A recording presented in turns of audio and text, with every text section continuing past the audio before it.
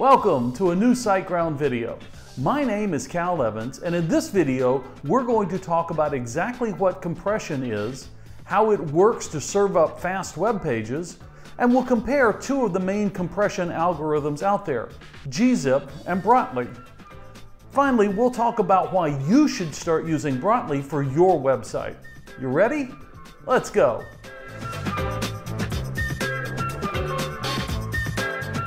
Hey, look, everybody is looking for ways to make their website faster. Most of the time, we focus on optimizing code, optimizing the database, implementing caching, and implementing a content delivery network. All of these help a lot, but there's one thing that you can do that you may not realize. You can compress the content you send from your server to the browser because, well, smaller is faster. Now, your images are probably already compressed. Most images on the web these days are. But there's still a lot of non-image data out there that is part of any modern website. HTML, JavaScript, CSS, all of these files are just plain text, and there are a lot of them in every website. Even if you minify these, there's still a lot that has to travel over the wire. And if we compress it, that's just that much faster your website can load. So, how does compression work? Well, the idea is pretty simple.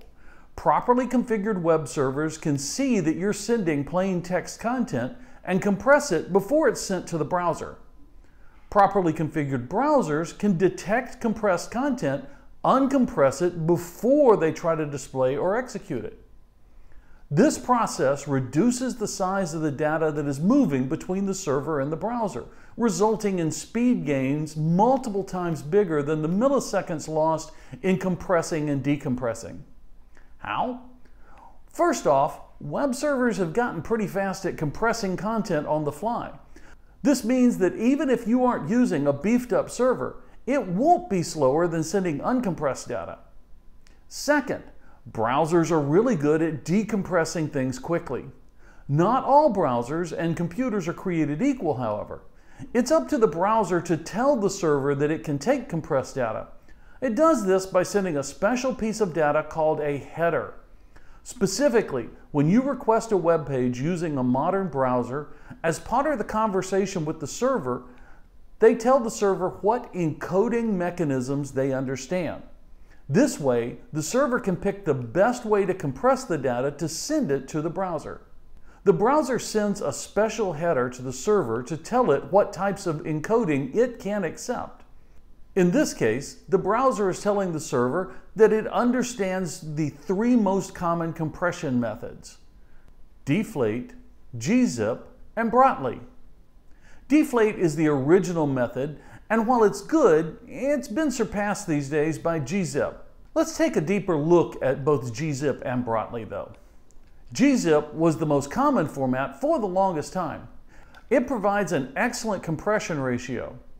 It's good at making things small, and it's fast. gzip was released back in 1992, just before the web became publicly available.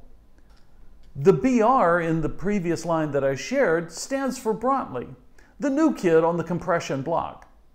Released by Google in September of 2015, Brotli has quickly become the standard for compression algorithms for serving web content.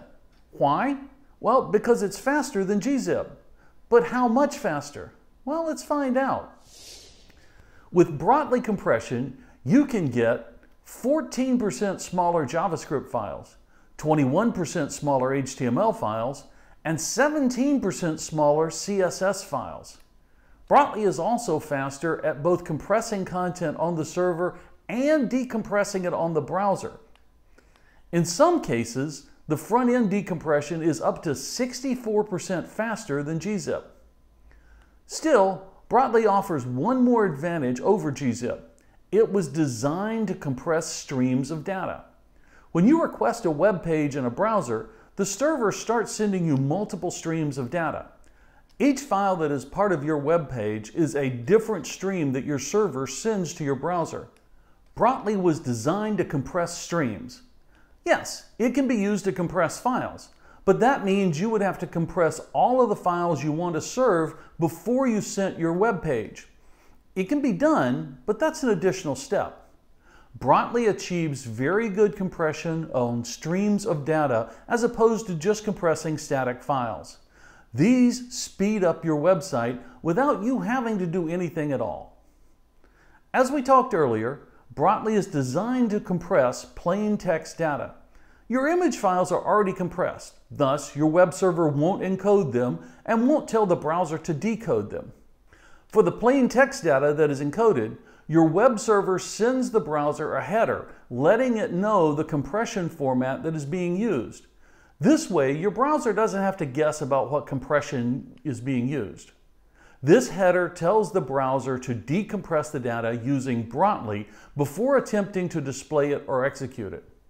Other media files may or may not use content encoding.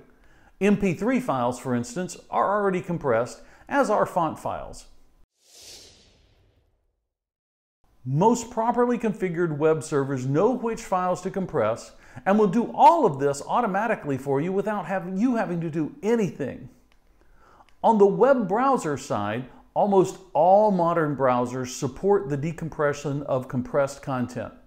If your website users are using current versions of their favorite browser, they all support Brotli. Chrome, as of version 5.0, Microsoft Edge, as of version 18, Firefox, as of version 68, Safari, as of version 12, and iOS Safari, as of version 12.1, all support Brotli. These represent the majority of web browsers that we use to visit your website. It should be noted, though, that no version of Microsoft Internet Explorer supports Brotli. Since IE is no longer in development, it never will support Brotli. Microsoft Edge does, however, and that is their web browser going forward. On the server side, starting with Apache 2.4, Brotli was an option, although it requires libraries to be downloaded and compiled in. Nginx, the other major web browser in use, supports Brotli through its ngx underscore Brotli module that can be compiled in. Lucky for you, if you host your website with SiteGround, you don't have to worry about this. All of this has been done for you already. If you are curious if you currently have any compression enabled on your website, there are a couple of ways that you can check. First, you can visit a website in a modern browser, right-click anywhere on the page, and click Inspect. Find the Network tab, reload that page, find the first entry in the list, and check, click on it. Then click on Headers. See if there's an Accept Encoding header, and if there is one, see if it contains either gzip or BR. If it does, you have compression enabled. If not, you don't. Or you can visit the URL on your screen. Enter your URL into the box there, and it will tell you if either or both compressions are enabled. I usually do the second one.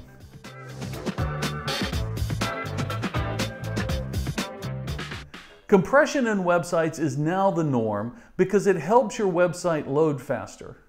Currently, Brotli is the fastest compression algorithm available for websites. If you see that you're still using gzip, move to a web hosting partner that has Brotli enabled automatically, a partner like SiteGround. You can find more information about Brotli's enablement on SiteGround servers in the description below, as well as a link to check out all of our other unique site speed features that make your website fly. Now, I want to hear from you. How do you compress your sites? Have you already tried out Brotli? Which are the key compression algorithms that you find the most successful? Let me know in the comments below. Hey, I want to thank you for joining us today as we learned. I hope you found it both educational and interesting. If you enjoyed this video, make sure you click on the subscribe button on your screen to subscribe to our YouTube channel. Click the bell icon also so that YouTube will notify you every time we release a new video. Finally, follow us on social media to stay updated about all the news, trending content, and resources for successful website management that we share. Thanks again for watching, and we'll see you on the next video.